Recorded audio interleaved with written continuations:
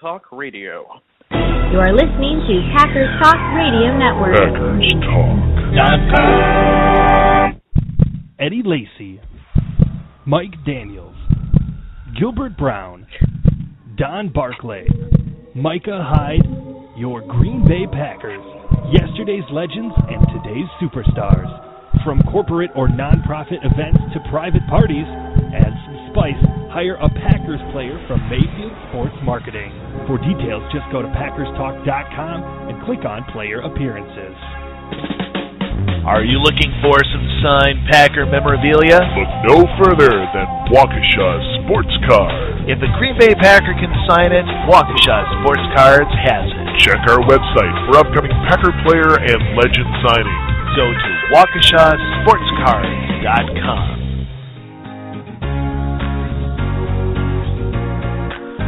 You're listening to the best Packer radio show on the internet. Cheesehead Radio.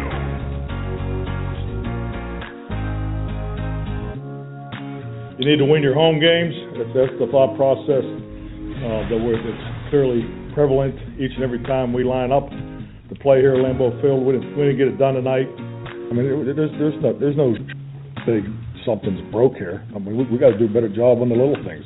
I mean, every game plan I've ever put together here starts with the run game. Do more damn ball drills here in the history of football. So, and it didn't show up tonight. That's how you know you messed up.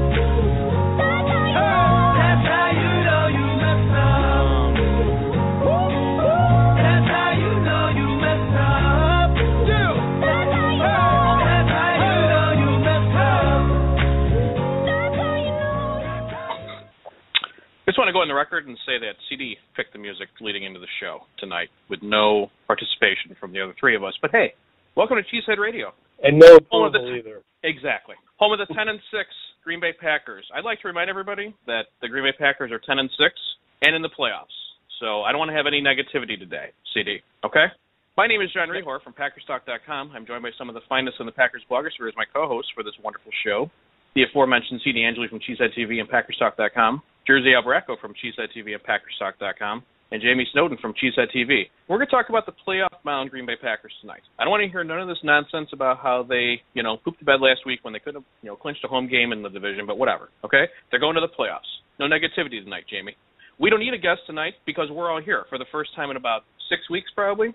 So no guest tonight, unless there's more surprises that we just don't know about. Before we get started, I do want to send a quick shout out to our sponsors, Mayfield Sports Marketing, who you can follow on Twitter at Mayfield Sport, and Waukesha Sports Cards, who you can follow on Twitter at Walk Sports. They are the people that make the show go. Be sure and give them a follow if you're on Twitter. And if you're not on Twitter, get on it. We have a little bit to talk about tonight about the 10 and 6 playoff on Green Bay Packers. Let's get to it. Jersey Al and Jayme bring you this week's Packer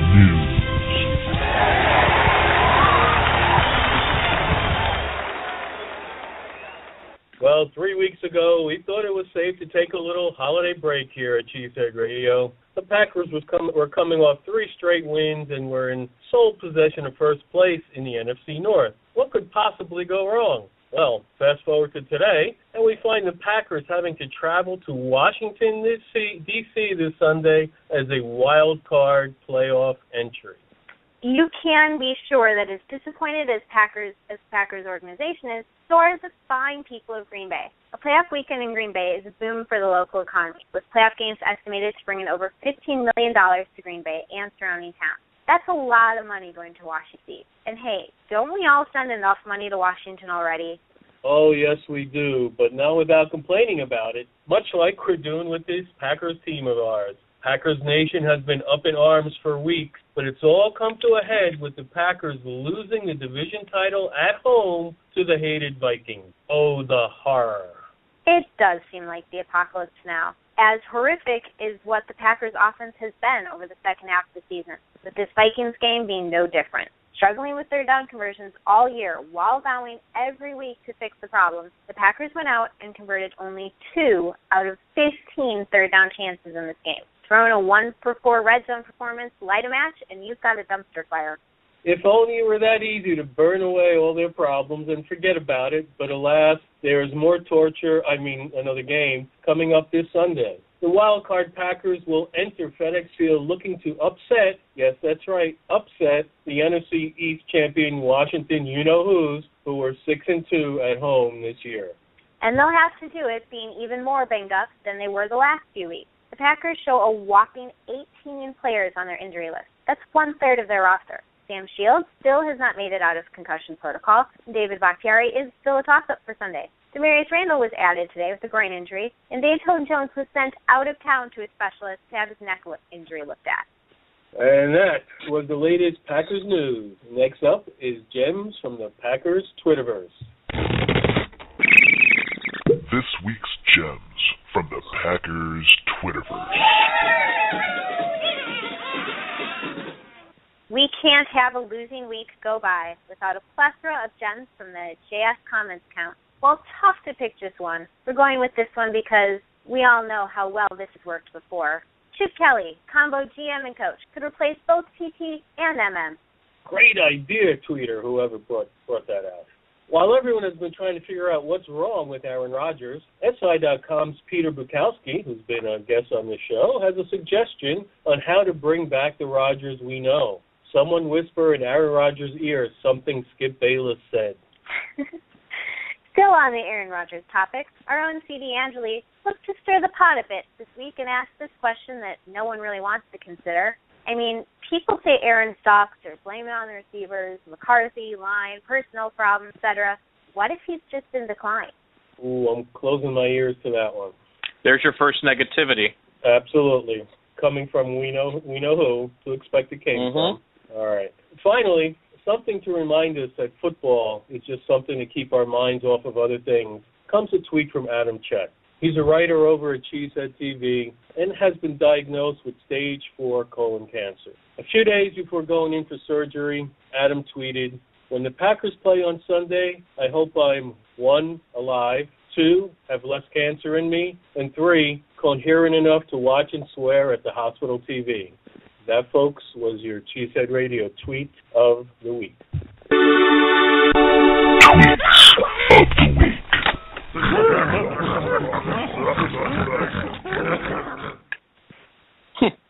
Yeah, so if everybody who's currently voting 75% of John B. Mr. Negative, the hell with you. It wasn't me. I, I think there's such a thing as facetious positivity. I'm going to Google Okay. that. You please. If you say so. Is that like Yes, I- okay first? That's cool. Is that No. positivity or positivity? Good question. I don't know, but I'm getting sick of hearing the same things over and over in press conferences lately. So let's avoid that word. That's why I stopped listening to press conferences because I can just go to anyone from the last you know, 10 years, hit play, and go, oh, okay, 2016 now. That's not that negative. makes you It's fact. that makes you a true fan, John. You are a true fan. Exactly. A true fan, true Packer fan. You always know that it's that you're coming off of a losing week when the not a true fan hashtag appears on Twitter, Facebook, direct messages, email. Yeah. Do people just say that to you, like in person? Do they just walk up to you and do like the hashtag symbol and just go, not a fan, and then walk away? that you need would- a T-shirt, that would be you the need highlight. a T-shirt. We- we- Hashtag not a true fan. In all seriousness, we have other things we can talk about tonight, but I will share this with you. I was on one of the illustrious Packers groups not named Packer Peeps, and I made a comment. Well, there's your first phase. I- uh, Yeah, I know. exactly. I, I know. Strike one. I, I'm admitting my fault. So Swing and a miss. but I, I made a, a one sentence comment and I was sent a message which said, John, you are not a true fan. End of comment. From someone I've never interacted with before. Okay. Good good to know. Good to know. Well, at least it was from the somebody you've never of a true interacted with, and not someone you have interacted with. Oh they were interacted with via private messages afterwards in a 2011 era John fashion. So I don't think that they'll be communicating with me much in the future, or ever again. So in they're so they're not a true fan of you now. exactly. So many connotations we can come up with here. This is fun. I have the rants with Rehor staying ready to go at some point, so please let me know when. Please let me know when. I think I think this says a lot about the state of the team that we are starting the post news section of the show discussing John's Facebook private messages and what not, you know, the phrase "not a true fan." That's how much we would. Those are the things we'd rather talk about right now than the way the team is playing. You know what I'm going to do? Priority, Jayme. You know. No, no. You know what I'm going to do here? I'm going to start out positively because I am a true fan and I am perhaps the epitome of positivity. And I'd like you to say that three times fast.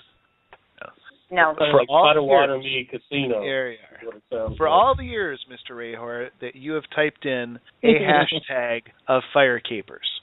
All I don't know the what you're years talking that about. you have typed that. All the year. I mean, I think you've typed fire capers more times than uh, Al has taken Mason Crosby to premature graying.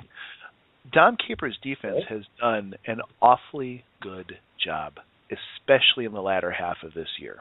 This is a defense that's good enough.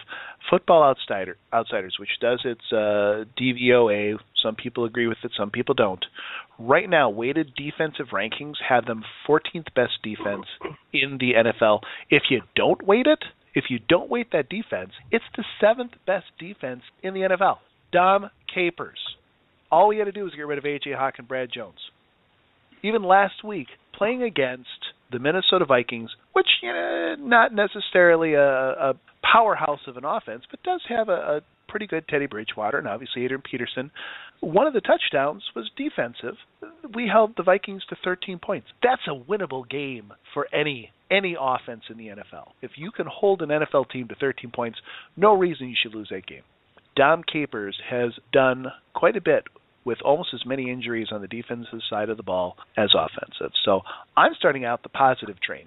Someone feel free to attach on and or be the caboose if you want. No, I'll I'll Uh, join that train. No, you I you can't get on the Dom Capers spin yet. You're you're always anti Dom Capers. We have to be on the train right now. Um, no, this is I'm on the train with that because you are absolutely right. You hold the other team to 13 points. Any offense, you should be able to beat the other team. Any offense with Aaron Rodgers, any offense with Eddie Lacy, any any offense should be able to score more than 13 points at home to win the division and and then you look at the the injuries that the defense is playing with. Banged up line. You, Sam Shields been out for three weeks, four weeks now. I don't remember how long. Um, and you know, you mentioned AJ Hawk and Brad Jones. Well, we've replaced them, but we've replaced them with just people who are exactly like them, still slow and kind of lumbering. They they play towards the ball a little bit more, but he's still playing with a lot of deficiencies, and yet that group is still finding ways to bend a little but not break a lot, to to keep the Packers in a lot of games, and the offense is not bailing them out. So it's really weird that at the end of this season, I I really feel like Capers is actually a hundred percent safe. And I don't I don't think I felt that way at any other time, except for maybe the Super Bowl year. Maybe. Can I jump in now? I suppose. All right. Now- Fine. for those of you know, for the three or four people that have read things that I've written over the last few years, I was very anti, you know, Dom for a long time. But I did say last year that I had a change of perspective on things, and maybe it wasn't him to blame. Maybe it was the players that he was given. And you know, it is true. You got rid of AJ Hawk, got rid of Brad Jones, and suddenly the defense is pretty good. But there's one thing I want to say, and this is with regards to what you just said, Jayme. Do I think he's safe? I do, except for one thing. Could he be thinking about retiring? Because that's I think he's 67 years old, if memory serves. I mean, at some point, take a look at someone like Tom Coughlin, who was 70 when he retired. He's going to want to walk away from the game. So I would say that he is safe for you know next year, unless he decides to walk away in his own terms. Um, He's the only way that I 65. could see 65. Yeah. It, it, the only way I could see him not coming back is literally if they cleaned house entirely of the coaching staff, I- and I mean gutted everybody. Um, I think that he is definitely. Well, I'm sorry. I mean that that was a big topic of conversation earlier this week too. Um, but I do think he's, you know, if you want to put the earned his stripes for another season based on the play he's gotten. Um, and that was with there's a lot of people hurt right now, and they're still, with the exception of the Arizona game, over the last month, they that defense has held this team together while the offense has continued to kind of putter along. So Dom, you're my boy, and I'm being serious. Never change. now I'm gonna I'm gonna add on to that, John, just just because. Think how good a Dom Capers defense could have been, especially the latter half of this year, as well as they were doing, if the offense wasn't constantly doing three and outs or short drives and mm-hmm. giving the ball Yep. back and making them go back and defend more. I mean, this should be more than a 14th ranked defense. This should this could be a 10th or or 7th or 5th ranked defense, except for the fact that they're constantly on defense because the offense you get to the point Can't make a third this is, down. This is the slight this is the slight negativity, just slight. It's not much, but it's slight. Just a little bit of negativity. I'll, I'll throw I'll throw a positive note on top of that. Then I think we could maybe give, despite the fact that there are 18 people on the injur, injury report right now, a little kudos to conditioning staff for the fact that if the defense is constantly playing and still 14th in the league, that's not that bad. So therefore, they must be in pretty good shape to keep running all the time, since they never get a chance to sit down. Yeah, the the it's other like thing they play is soccer games. the, the the other thing is is they've got a lot better depth on defense this year. Tho- Those first two draft picks, you know, picking up Randall and Rollins. I mean, those are two guys that that have been forced into action and have done absolutely well. Imagine if we didn't draft those guys, you know, last year. Imagine if we, you know, drafted an offensive lineman or or a wide receiver. Well, that's not a good example, but uh just imagine with the injuries that we've had on the defense, Sam Shields been out a couple of times, Hayward's been out, um, what we would be, you know, where we would be. So they've had much better depth. Same thing goes for the defensive line, you know, with with uh, Letroy Guion coming back and Raji coming back, and you've got Pennel and Datone Jones. You got all these guys that they can rotate in and out and keep them fresh and it's been necessary, as CD said, because they're on the field so much. So I, I think that's a big part of it too. Is yes, conditioning, but also the fact that they've got more quality players they can throw in there. You know what's really devastating about Datone Jones too is, you know, for the first time I think we can say that he's actually played like a first rounder, even while he's been playing like a hybrid D end, outside linebacker, Mm-hmm. you know, whatever you want to call him. And the guy hurts his neck. And as we know, when a Packer hurts his neck, that means either his head has fallen off or he's never going to play again.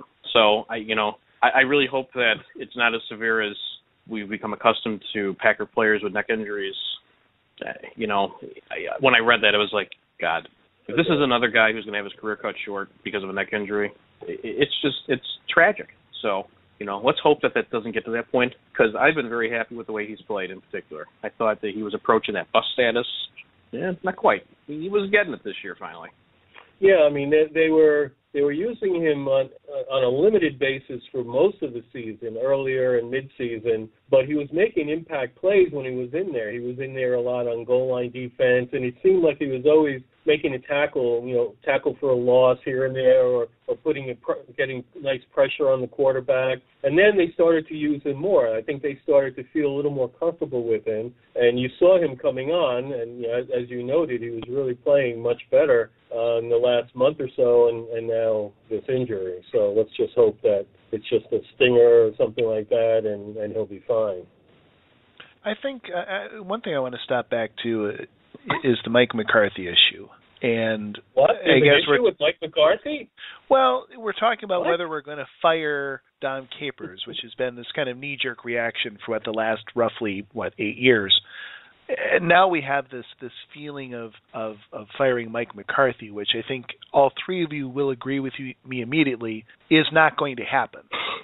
Zero. You guys you guys do agree with me, right? Right, I agree with you. Well, well, it could happen in the same regards that a meteor could fall through my roof right now. Okay. Very, we very, leave very, that very, very, possibility Well, open. Okay. If a Yeah. meteor falls from your roof, that's not really a meteor. Then it has to fall from Well, other places. Where do you live? How about this? How about it's the same chance that I could fall from my roof while sitting in our second bedroom? Kind of a chance. Okay. It could Okay. happen. So While being struck by lightning simultaneously. Exactly. Twice. Twice. and hitting the Powerball out of it. Yes. No, he can't do that because I've already done it. But anyway, I, I've got the winning Ah. ticket for Saturday. So, but getting back to the McCarthy thing, here, here's the reality. Everyone keeps talking, and, and I think I, I can't remember which one of you touched on it a second ago, but it really kind of made me think: How do coaches leave a team? Well, we always assume they're fired, and, and a good number of them are fired, but they also leave. They can choose to leave. I mean, let's go back in time. Uh, Vince Lombardi won in Super Bowls with the Packers. He wasn't fired. He left. Mike Holmgren won a Super Bowl with the Packers, he wasn't fired. He left. Um, we're you know Mike Sherman was was fired. Ray Rhodes was fired. Lindy Infante, Bart Starr, uh, Forrest Gregg, they're all fired. So the chances that Mike McCarthy is going to be fired at any point is pretty unlikely. The chances are he's going to choose to leave. The question may be have have things gone to the point where he may look and say, "Hey, is it time to retire? Is it time to find another opportunity?" Is this getting close, especially if you think of some of the tumult that has gone on between himself and rumored with Aaron Rodgers and a spat and just having this offense not get off the ground and talk of a poison locker room, do you think he could choose to leave? I feel like he's Who too wants to go stubborn. Yeah, he's entrenched. He is entrenched. You have to drag him out of there with a I don't, I don't know with what uh, a crane to get him out of Yeah. there. I He's not I don't anywhere. I don't see it in his personality to say, you know what, this this just isn't working. I'm going to try something else. Nothing from the last month, of, except for him deciding to take play calling back, has really showed me that he's been like, no, no, you know what, a change needs to happen, and I'm going to make that change. So I really don't see that he can make that life change either. Yeah, and, and you know most coaches that choose to leave, as, as you were saying, like Lombardi and Holmgren, they're looking for something more. You know, they were looking to be to be GM of a team, to be, have total control. Uh, that's not McCarthy. You know, he's he's often stated he has very little interest in in making those type of decisions. He wants to coach the players that are given to him and coach them to the best of his ability and win Super Bowls. So I don't think he's that type of guy that would leave looking for you know more responsibility somewhere else. And I I don't think actually- there's the dream job out there. Sorry, Don. You can That's uh, okay. No, go ahead. No, I was just said, and I don't think there's a, a dream job opening out there that would be, you know, a dream coaching job. Like, oh, I really would like to coach that team. Maybe San Francisco, but What about with the state they're in, What if for some reason Pittsburgh was looking for a coach? Go back home. Would that I don't- be? I don't think they'd be looking for a coach this. No, I don't I'm think they'd be looking for a coach this year. But yeah, I could Yeah, see that. I could see that, or San Francisco. I mean, San Francisco's looking, but I still, I don't think he, I don't think he'd do it. Not this year. Oh no. no that's Sorry. John. That's okay. There's actually one scenario where I could see Mike walking away, and it actually has very little to do with football and more with the personal life. You know, if you look back at, you know, the beginning of the season, he went through the, not to bring up the game, but the disastrous result at the end of the NFC Championship game, and right after that, his brother died. And, you know, as someone that has gone through something like that, you know, I I have the luxury of saying I don't live in the NFL world where I'm working 18 hours a day, basically 365 days a year. I wonder how well he's dealt with that and in looking at his own life. And you know he's got young children an older child. You know i just wonder if like at some point the tug of like personal life is going to maybe say you know what? I'm going to take that break. You know the break that bill cowher's gone on that Jake, uh, Jon Gruden's gone on where they walk away from the game and you assume that at some point they're going to go back to coaching but then they never really do. I honestly wonder after this season, this season, and the beginning of 2015, and how everything kind of went this year, if that may not be something you think about. I don't want him to walk away. Let me make that perfectly clear. I think that if he were to walk away, it would be not something that he was asked to do or forced to do. I think it would be something that he chose to do to kind of get his perspective on life back in order. Um, do I think it's going to happen? No. But do I think he could think about it? I honestly do. I, I think he he very well could think about it. Well, there you go. well, let's get one more little piece of positive news out before we really delve into perhaps more of the possibly critical. Brett Favre. Did you hear the news? Is he coming back? Who is who is he again? He is unretiring from the NFL Hall of Fame now. uh, recently made the is among the first time eligibles to make the list of 15 finalists to enter the Pro Football Hall of Fame. This I'm sure comes as a shock it comes as a shock to everyone because we weren't expecting this anyway as we're already making plans to travel to Canton possibly for the Packers to play at the Hall of Fame game.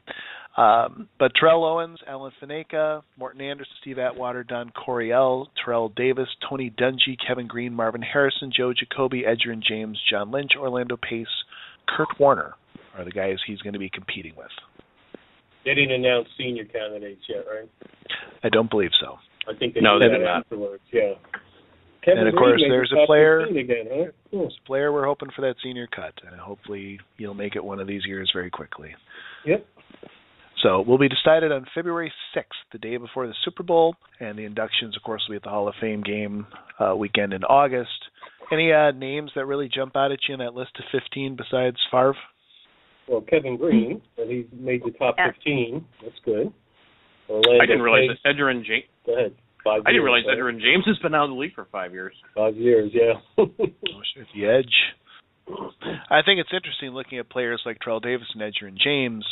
I I think it's hard to be a running back and make the Hall of Fame, and I, I think we've discussed this before whether Terrell Davis is worthy of it, uh, having only run for you know having several fantastic seasons but a short season, as opposed to maybe some other players who've had lengthy careers.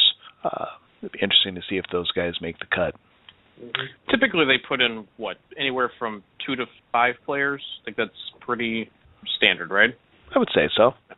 I mean, if you want to take a look, I mean, at the list, I mean, I think everyone would agree that Favre is a lock. Agree? I think so. Yes. Mhm. Yes. That's I think. I I honestly think the next lock, if I had to put another lock on, I want to say Terrell Owens, but I just can't. Uh, I but would, I agree. I won't say it either, but yes, probably a lock. um, Let's see. I think you could make an argument, or at least a case, that Orlando Pace is a lock. Yeah, that was the name, one name that stuck out to me when he was reading it before. Um, how about Don Coryell? That was my going to be my fourth. Yeah, I mean, how is he not in the Hall of Fame by now? How is he? Didn't win a Super Bowl. Wow. Well, He revolutionized uh, the game. that he did. Story coach. Um, who else? Alan Faneca? Um, maybe not. Marvin Harrison? No. Joe Jacoby, if you're looking at um, offensive tackles, 12 year career, he's got to be considered, along with Orlando Pace. That's, those are the only Kurt names Warner. that Kurt Warner. he Kurt won a Super Bowl. He won a Super Bowl. Okay, his team won a Super Bowl, but yeah, okay. And he I don't know if you know, he used to work in a grocery store stacking canned goods and then he won a Super Bowl. It's a great story. Well, I don't think I've heard The it for a couple of years, but I heard it many times. well, the Packers' current long snapper used to work in his what family's Subway shop. So maybe if they win the Super Bowl, they can have a story about him, and then he can go into the Hall of Fame too. Just saying. yeah, I don't think that's going to happen. He- Here's my thing about Kurt Warner, okay? And I'm gonna Okay. Okay. He had All right. two really good years with the Rams, disappeared for like five years, had two really good years with the Cardinals. So Yeah. uh, I would love to have him go in the Hall of Fame because for everything you've ever seen about him, other than some of the comments he's made on NFL Network, you know, he just seems like a genuinely nice guy. He had a very nice career. You know, back to Favre, came in as a free agent, blah blah blah blah blah. Was with the greatest show on turf, all that other stuff. Blah, but blah, his blah. career is bookended with good times and then not a lot in the middle to speak of. And he was hurt a good chunk of that. So you know, there's reasons for it, but Backup quarterback with the New York Giants for a few years. right. Yeah. Uh, to me, I- I, to me, he's not a Hall of Fame. I, I've said that forever. I don't think it's enough. I, I think that you know he may very well fall into that veterans committee category further down the road um, when they took a look at players who were really, really, really, really good at the time, but maybe did not quite, you know, based on the other people they were going against uh, during their the quote normal induction procedure. And I think that he'll get in the Hall of Fame eventually. I just don't think he'll ever be voted in um, by anyone other than the veterans committee. Fair thought. Yeah, absolutely. Well, moving on, I guess another slight bit of uh I suppose we should switch off with a little bit of, of negativity. Uh we really got to talk about the state of this team and uh the Packers started out 6 and 0. 6 and 0. 6 Oh, and what 0 Green Bay glorious Packers. time that was. At that point, at that point going into the bye week, the Green Bay Packers were pretty much touted, were ballyhooed uh, as being the Super Bowl. Hey, there you are. The Super Bowl favorites. I mean, we were already ready to book a ticket. We were assured that this was going to be a Super Bowl year. Coming out of the bye, the Green Bay Packers just stumbled, lost a bunch in a row, had some embarrassing losses. They've gone four and six. That is sub 500 for you uh, non-math people. Football Outsiders has now given the Green Bay Packers a 0.8% chance of all the teams remaining in the playoffs of winning the Super Bowl. They are the 16th place team of the 16 teams in the Super Bowl. 6 and 0, 6 and 0 before the bye, the favorite. Oh, oh. Whoa. Well, as, as somebody What said on Twitter, that's why they're called football outsiders. Well, that they are. Wait, that means that there is a better chance that the Cincinnati Bengals will win the Super Bowl Or than the Green Bay Packers. or the Redskins, or the Houston Bengals Texans. haven't. I know, like we get our own crap because we go one and out a lot in the in the playoffs. But like that's the Bengals thing. Like that's they've perfected that really well. Everyone in the city gets really hyped, and the, everyone in the city is like, no, but we know it's going to happen. Like we were excited all season, but we know we're losing. That's what they do, and somehow we're below that. Oh, Cincinnati Bengals, 3.4% chance. I I I feel Four I feel times lower now. I'm I'm sinking lower into my bed. It is it is, it is sucking me in. The Minnesota Vikings, 2.2%. Wait, what? Two and a half times Minnesota Vikings, chance. 2.2% chance of winning the Super Bowl versus Green Bay's 0.8. And the Bengals have a better chance than a team with Adrian Peterson. I'm sorry, this Yes. is just going to keep blowing my mind here. So what you're telling me is that the Minnesota Vikings, with Are more favored to win the Super Bowl than the Packers. I- I'm literally speechless, and I'm not just saying this like for dramatic effect. I'm being sincere when I say this. The Minnesota Vikings, who have Adrian Peterson on offense, have a better chance than the Packers. I paused after Adrian Peterson because he is their offense. Who does Minnesota play in the first round? Seattle Yeah. Uh, they're going to lose. Seahawks. The Seattle Seahawks presently are second in odds to win Super Bowl 50 at 15.1%. well, I'm I uh, believe that. Yeah, I I think What- they're well. They're my favorite right now. But they're saying Personally, Minnesota has a better chance of beating the second ranked team overall than the Packers have of beating Washington. yeah, that What's makes a lot of Washington? sense. Washington is 2.6. They're actually ahead of Minnesota. Washington is two point six, so three times the Packers' chance, three times better chance than the Packers. which should tell you pretty much what the odds are. Alrighty. This is this is why I don't go to sites like Football Outsiders because honestly, what?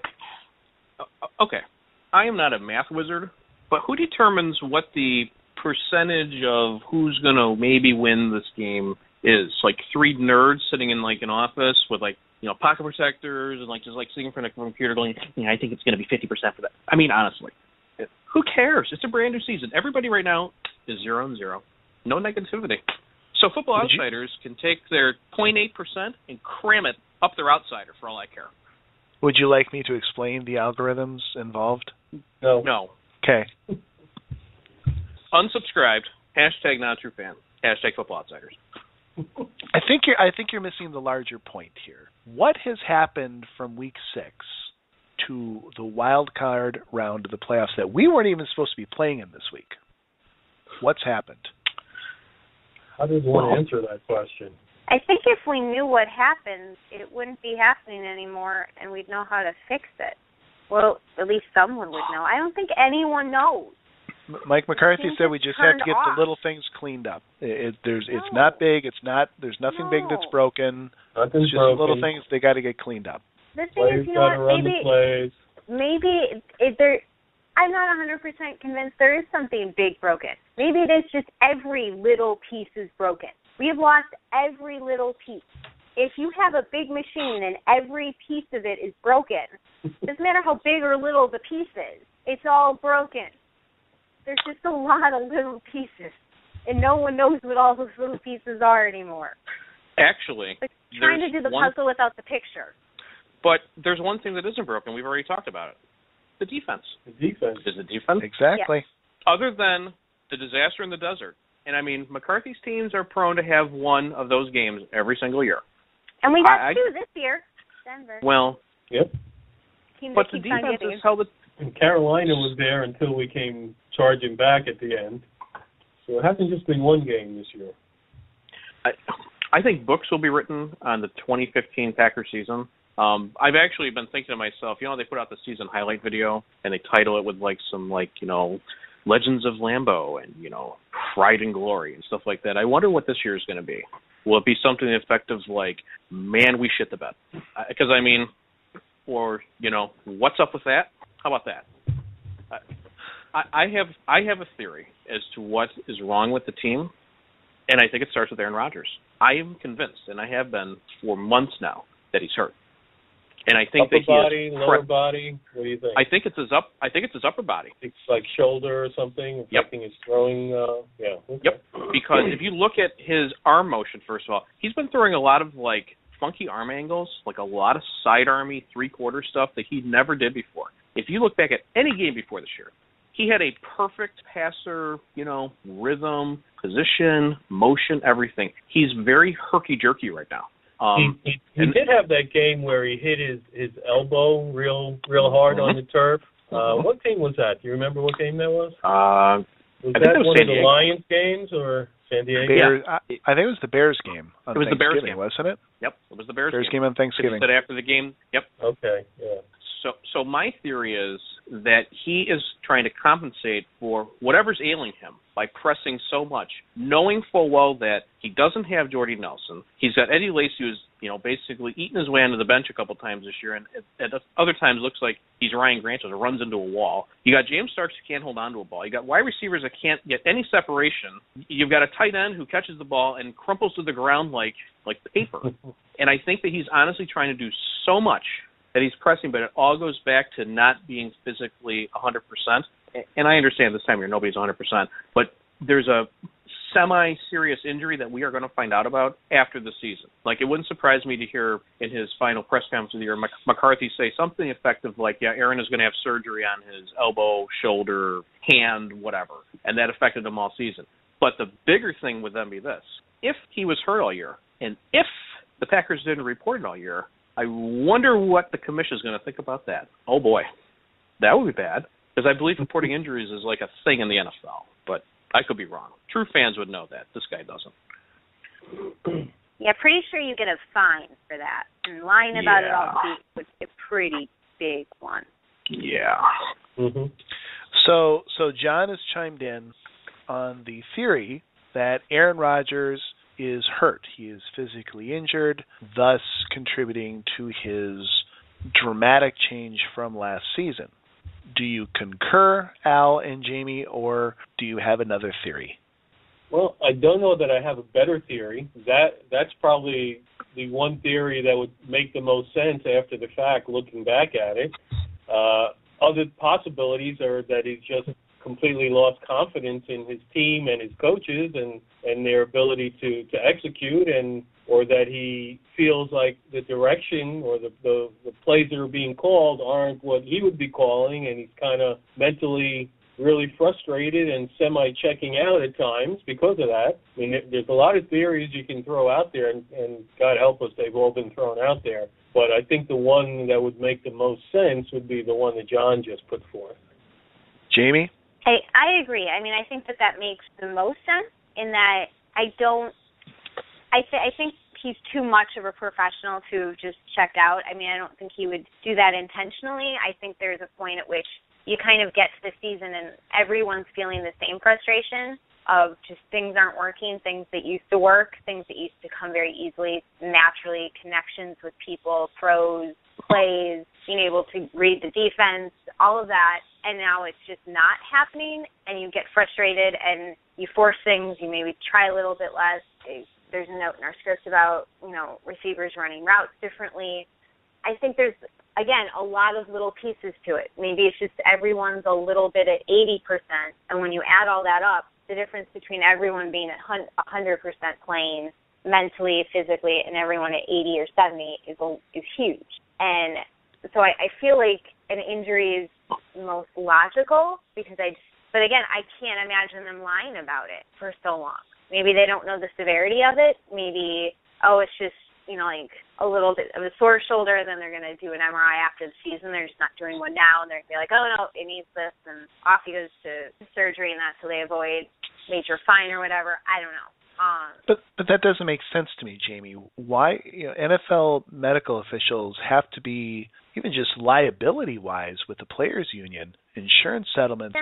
They they're not going to sit there and say, "Oh, well he might be injured, but we're going to let him play."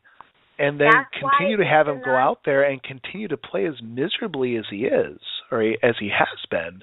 I- I- there's That's just a why disconnect these are all there for me. weird theories. I can't I can't get on board with any full theory, and that's why I think when when we started this whole conversation, we're like, what's wrong with with the team and the offense, and why are we here? There was just silence and us going, I don't know, Mhm. because how do you take someone who is so mechanically accurate, just everything about the way that he approached the game, the way he played the game. It didn't have that kind of far, wild, passionate playing. It was going out and just rhythmatically, mechanically playing the game accurately. And now that's just gone. And I don't think his arm is just gone. I think a lot of it has to do with the play calls and the wide receivers routes, but I think some of it does have to do with him just not throwing the ball the same. I don't know why though. And that's I think where we're having this discussion of like, here's our hodgepodge theories. Um, one of the things, and I put this in the script, and I'll bring it up now, is, and I saw someone mention it on Twitter this week, is you know we we've made some some comments, and there's been talk about the the wide the wide receivers and lost Jordy, and you know people not stepping up and just not them not being on the same page as Aaron Rodgers, maybe not running the right routes, you're not running them fully, and I realize this is the year where they haven't had their own coach. I sang Edgar Bennett's praises to the highest level when he was wide receivers coach because I thought he did phenomenal with Sheriff Boykin and Myles White and just getting young guys ready to play with Aaron Rodgers, to play in the NFL and on the same page. And I feel I I wonder if not having a designated coach of having to share Van Pelt with the quarterbacks has has changed the way that group is coached up. You would think that if they have the same coach, they might be on the same page, but apparently that's not working. I, I think that. Go ahead, Al. No, I was actually going to throw it over to CD because he's asked all of us what our theories are, and I think he has a different one that he might want to talk about a little bit. Who me? Oh, you, Uh. oh, you still here? Not Oh, I'm still here. I'm just listening to you guys. You guys are It's on. it's music to my ears, man. No, I, I do think that there's You some mechanical issues. On Twitter, right? I did. You asked question. Oh, is he just growing old? You want to expand on that? Is what well, I'm getting yeah. at. I mean, I, I think it's. It, I think there's a point where that makes sense. I don't think it would fully explain the total drop in play that he had from last year to this year, but it is a reality. We saw it happen with Brett Favre. Uh, we see it happen with nearly every quarterback, except for you know a very few uh, fantastic quarterbacks. But you just aren't in your prime anymore. Uh, your prime for a, an NFL football player, a quarterback, is going to be, you know, that 26, 27, 28, 29, 30. You're already starting to get, you're starting to press it a little bit. I mean, 32 is where you're going to have that drop, and that can explain some of the the missed throws and and just the the lack of uh, some some of the body accuracy mechanics are just going to decline but I don't think that explains everything. And I also think there's some there's some stuff going on. There's an injury too that's very very high upper body, uh, and and I think he's distracted. I think there's something going on. Whether you take all of the rumors, uh, whether there's a spat with McCarthy, whether he's not connecting with his wide receivers, everything that's been thrown out, whether he has problems in his personal life, something has to be more than a simple mechanical or physical error. It's more than just growing old, and it's probably more than just something bugging him. You know, him being distracted or troubled, or or something that we should be. It could be all three, but uh, I, I agree with you guys that I think there's something going on, and maybe it's our hope that he's injured because an injury can be fixed and he can be better next year. But if it's something upstairs or if he's growing old, that's not going to get better next year. So it, it's very comfortable to say, oh, he's probably hurt. I mean, he'll just rehab, have an MRI, have some surgery, and he'll be back next year. I'd like to to venture into the the dark place of there's a issue between him and McCarthy. Um, I'm all one for the drama.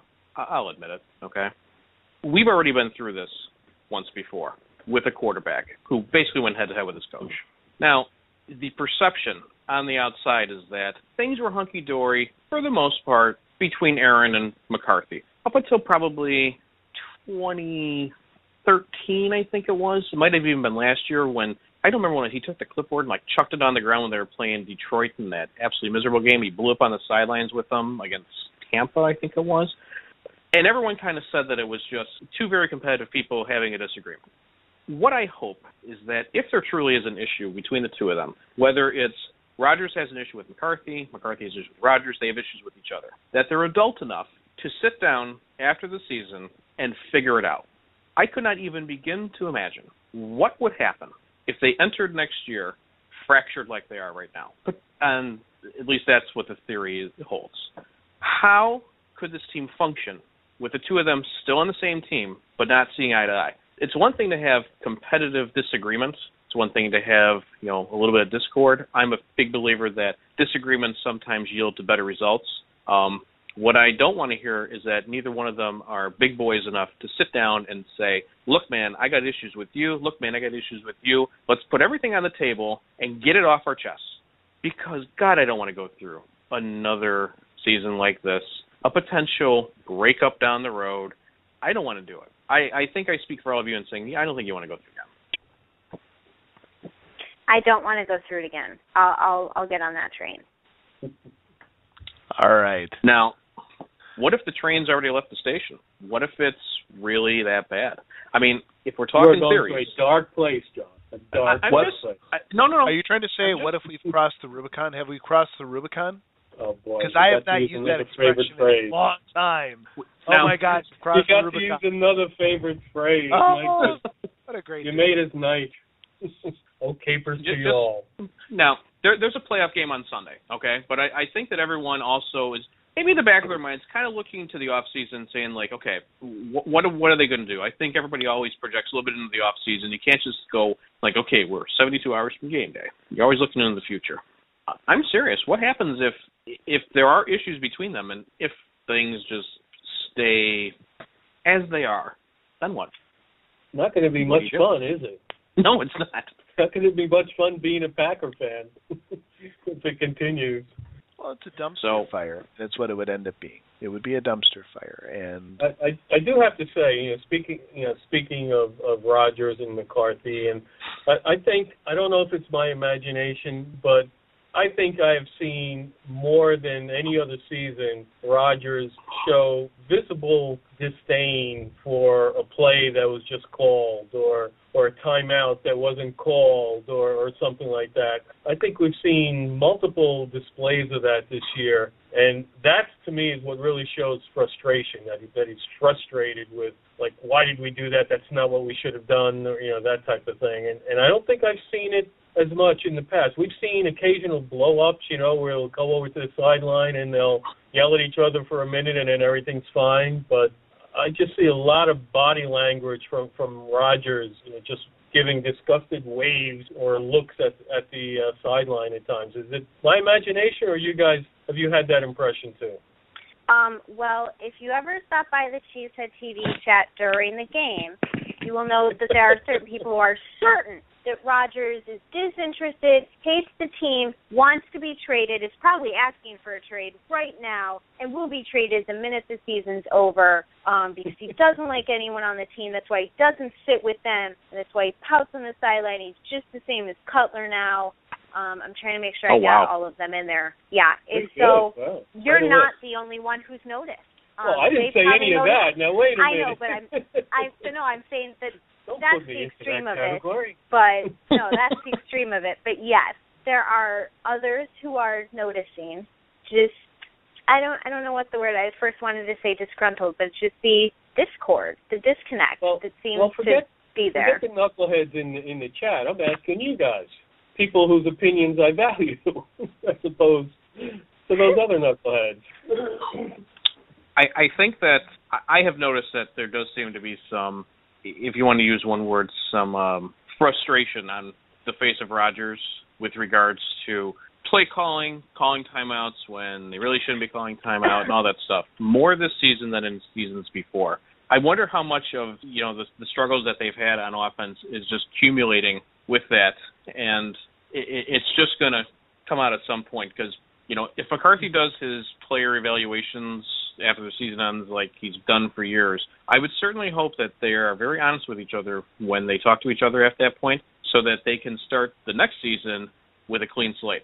I, I, I've said it before. I hope they don't act like children and are not afraid to say what's really on their mind. Because if you treat a player with kid gloves, I'm sorry, this is going to come across really bad. If you treat a player with kid gloves, the player's going to think they rule the roost, and that's not how it's supposed to be. Ultimately, the coach and the GM, they rule the roost, and the player is an employee of that organization and should fall in line with whatever's asked of them by their boss. We found out the hard way uh, let's see, eight years ago, what happens when a player thinks they're above the organization and can do whatever they want. I pray to God that they do not go through that again by giving him the power over the organization. Done. And that's not even a rant. That's a fact. Um, I my serious answer to your your question, Al, is is yes. I noticed that as well. The thing is, I feel like I've always noticed that with Rodgers.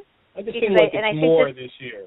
That's kind of my point. I, I the thing is, No, I but I guess it could be, but I feel like because we're losing and the fact that it's more, I just I feel like that's just him. Like that's his personality. There's and I don't mind that he does it, but I guess personally, like that's not something I'm that fond of. So that's why I'm always like I probably wouldn't dig his personality because that's who he kind of is. Um, but to John's point, I get the feeling that McCarthy isn't the kind of person that would treat Rodgers with kid gloves just after because luckily McCarthy went through what we all went through eight years ago, and I I and I sometimes get the feeling that, and this is just my personal opinion on on Aaron Rodgers' personality, and I don't know him, so I could be completely off, but that he doesn't like to be told what to do that well. That's Mhm. probably why this rift is existing, and so I mean, I'm not I'm not saying that McCarthy should be softer on him. I think McCarthy would be tougher on him and be like, no, this is it, and that's how it's going. And you either like it, deal with it, grow up and move on, or go sit over there and pout, and we'll duke it out with Hundley and Scoot. Scoot. See, I have to make it, you know, light at the end there. I feel much better. Thank you for scooting. Scoot, scoot. There you are. well, it is time. It is that time we've all been waiting for. We had the magic Twitter poll a little bit early in the evening on who was going to get negative first. Uh, the overwhelming winner from the Twitterverse was, of course, our very own John Rehor. Uh, congratulations, John. Uh, your prize, your prize for winning this is you get to go on your own rant. Are you excited? oh, I'm thrilled to death. Are you ready to go? Hit the button. Rants with Rehor.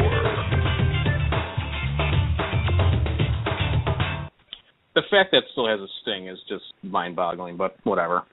This is actually not going to be a negative rant. Um, let, let's talk about anyone who watched or listened to Packer Transplants last night. Listen to Corey. Kind of talk about what the role of football is. You know, I think the four of us on this page, on this page, on this show, we, we've spoken to each other enough over the years so that we're very passionate people when it comes to our Packers. Um, this is like our escape from reality.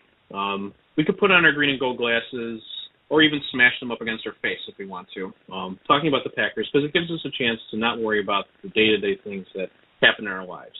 Um, but you know, day-to-day does happen, and it, it sometimes is a gut punch about reality.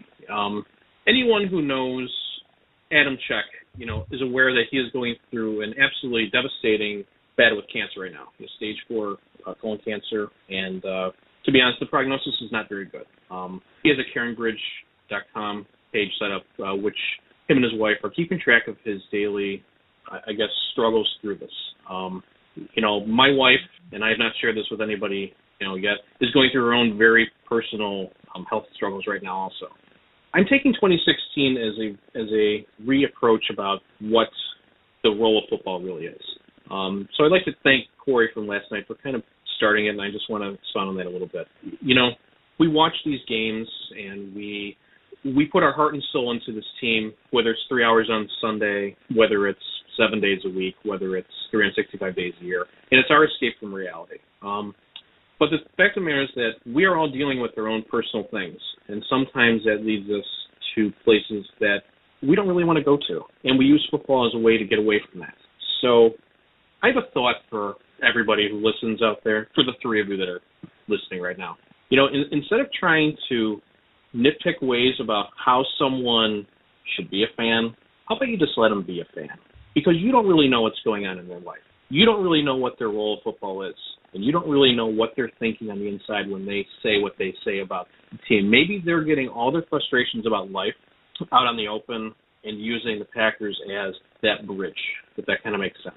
You know, I'm not one to tell someone what to say, what to do. I believe that you should be able to do what you want uh, with regards to football in particular, but maybe a little bit of compassion, maybe a little bit of heart, maybe a little bit of soul, and caring about other people before you start attacking them. Think about what you're saying to them. Think about how that might affect them. Think about what your words will do to that person.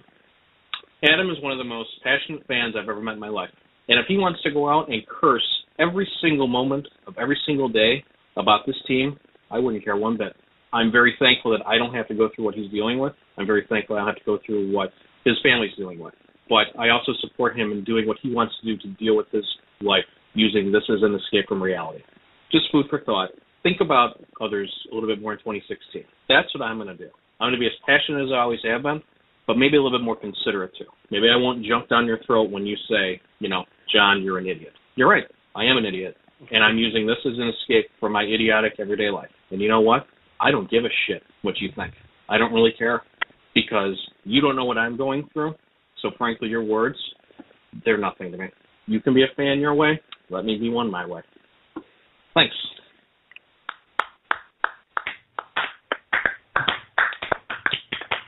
Well said, John. Well said. John, I love you, but that wasn't really a rant. I said it wasn't going to be. Then why did they wasted play the sting. sting? We wasted Yeah. a sting. It's a wasted sting. Oh, CD hates that. I know. But no, but in, but in all serious serious uh, seriousness, John, I, I appreciate uh, those words. I appreciate you you're talking about Adam. Um, I go back at least five six years with Adam. Met him in person a couple of times. Met his wife. Uh, just a great family. You know, they have a young two-year-old. Uh, his wife is pregnant, you know, with another child, and and now they have to deal with this. So they certainly could use help from anybody out there in Packer Nation in, in any which way you can, whether it's just positive thoughts or prayers or encouragement on Facebook or Twitter or you know they've there's websites uh, they they've got an account on something called foodtidings.com where you can buy a meal for the family and have it delivered you know whatever. If if you can't do anything monetarily then just keep them in your thoughts um, pray for them send them positive thoughts uh, give them good tidings on on Twitter and Facebook, and uh, and just keep them in your thoughts as as a really nice family that needs your help. Ditto. And and to add on that, John, we like you too. So we'll be thinking of you. Definitely prayers out to both you and Yes. your wife, friend. All right. Well, everyone take a deep breath. I think it's time to get to this week's game predictions. Cheesehead Radio. Packer Game Predictions. Well, the Super Bowl favorite Green Bay Pack. Wait, scratch that. The. NFC North champion. Wait, finish that. The third seeded Green Bay. Wait, never mind. Let's recheck The, that poll. the sixth seeded wild card Green Bay Packers will travel this Sunday. Well, To Washington. also. What is it? Oh, is it Saturday? fifth seeded. It's Sunday. Fifth seeded. That's right. I'm sorry. It is on Sunday. Yes. Fifth Yeah. seeded. I apologize. Fifth, not. Fifth seeded take on the Washington Redskins over at FedEx Field. Uh, 0.8% chance of winning, according to Football Outsiders, which was roundly booed by our astute panel of hosts here. Let's take it around and see what they think. We're going to start, of course, with Jersey Al Bracco. What say you? Hey, call me crazy. Call Yes? me insane. Al, you crazy. You crazy, man. I got the Packers winning 24-13. I, I think the defense will have no problem holding the Redskins down. Um, and I just feel that week after week after week, we've been waiting for the Packers offense to do something. There's no bigger back against the wall than this week, and I think somehow they find a way to score some points. 24-13. All right. Jersey Al believes that somehow current trends will reverse mysteriously and the Packers will Yes, win. Thank absolutely. you. Heading over now to the amazing Jayme Snowden. What do you say?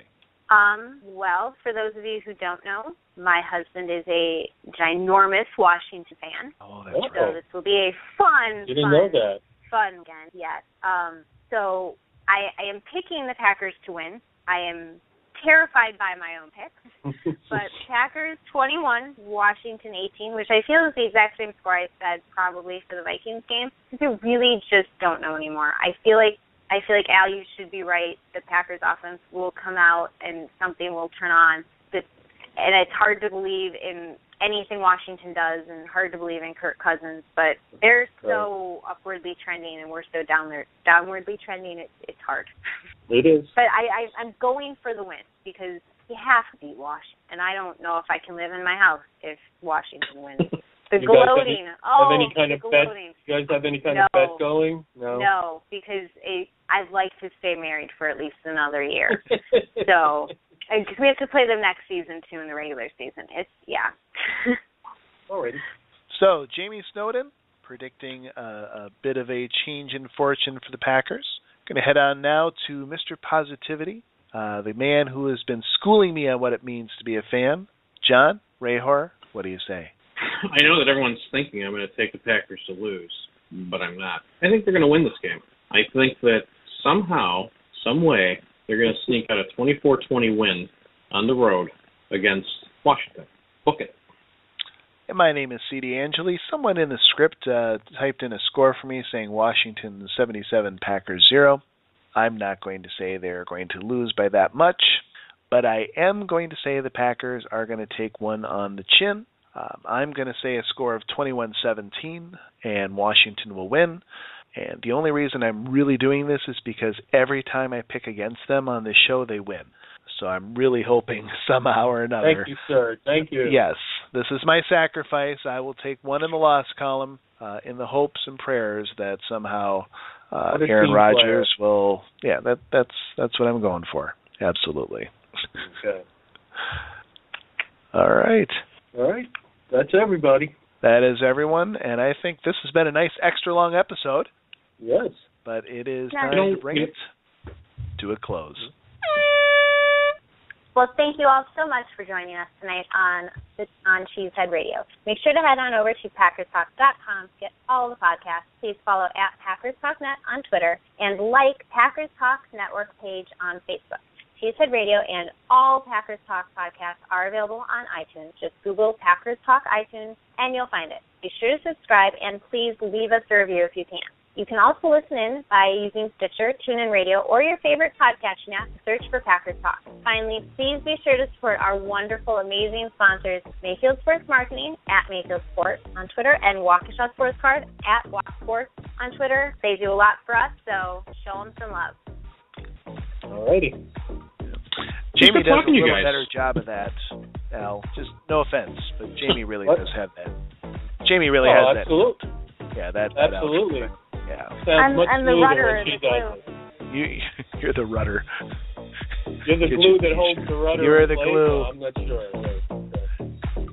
Good Hey, night, guys. Go Good pack. talking to you. Good to have us all back together. Talk to you Let's next week, when we're talking about the second round of the playoffs. Go, Yeah. Pack, go! All right.